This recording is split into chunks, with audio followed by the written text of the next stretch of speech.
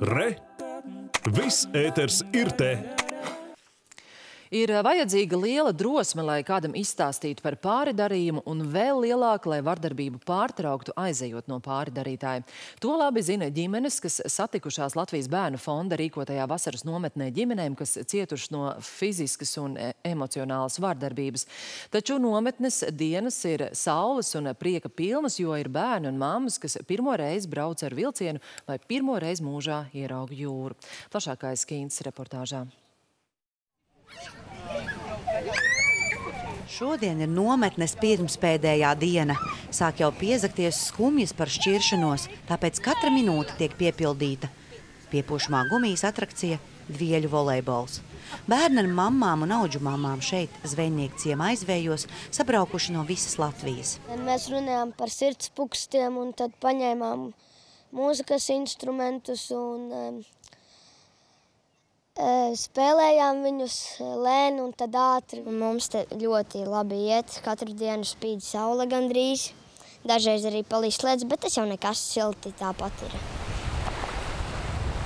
Un kā tad bez jūras? Baigi silta, bet tāda kā viļņi ir labi. Un viss man te patika. Tu pirmo reizi to jūru redzēji, ja? Jā. Kā jūra izskatās? Liela ļoti. Esmu pateicīga, ka mani bērni pirmo reizi jūru redz, un es arī pati personīgi pirmo reizi jūrā esmu bijusi. Un kā? Un, jā, ir ļoti forši emocijas, vienkārši neaprakstāmas bērni vispār ir starā. Lāsmai un viņas četriem bērniem ir arī ģimenes krīzes centra pieredze, jo tikai tā viņa spēja aiziet no smagām attiecībām. Nedrīkst sev ļaut darīt pāri, nedrīkst. Nedrīkst. Ir jāsaņemas un jāiet un uz priekšu jādzīvo. Vismaz arī, ja ne sevi, vismaz bērni dēļ, lai bērni nedaredz to. Ko, ko mani bērni ir piedzīvojuši, negribu, lai nevieni to piedzīvo. Man ir Čikāgas piedzīvi.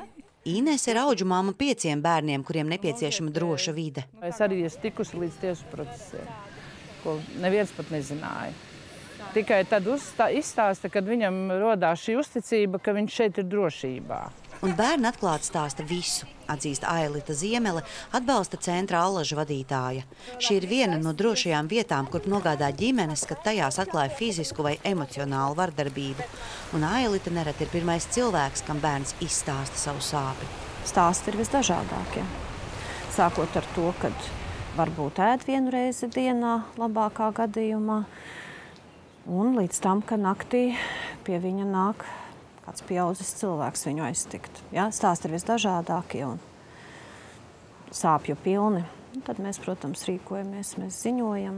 Vardarbība nemazinās, noteikti nemazinās, un ar, ar šo Covid laiku, ar šo saspringto laiku, es domāju, ka viņi ir vairojusies pat un smagāk kļūs.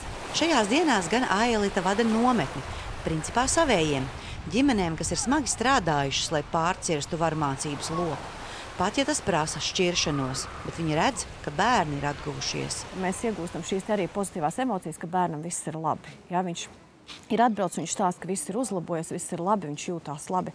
Tas ir arī mums tāds saldējums, un bērniem šis uh, cenšamies ārkārtīgi visu tādu viņiem šīs dienas piepildīt, ja, lai viņi tiešām aizbrauc mājās un sildās šai gaismā, uh, nometnes gaismā visu to gadu varbūt līdz nākošai vasarai.